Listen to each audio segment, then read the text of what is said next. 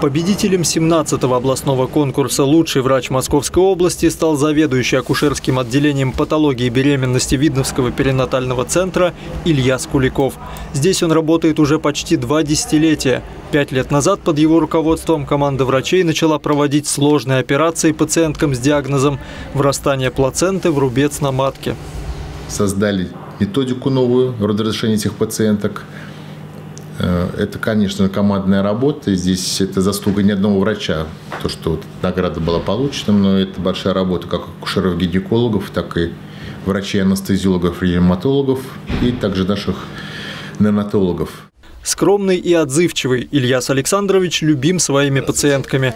По их словам, он всегда поможет в трудную минуту, успокоит и зарядит хорошим настроением.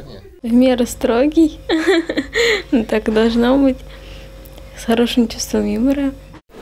Видновский перинатальный центр занимает лидирующие позиции по качеству оказываемых услуг и является главным в южной части Московской области. Рожать сюда едут также из других регионов России. Происходит это во многом благодаря высокотехнологичному медицинскому оборудованию, которым оснащено учреждение здравоохранения. Но главное – это врачи, профессионалы своего дела.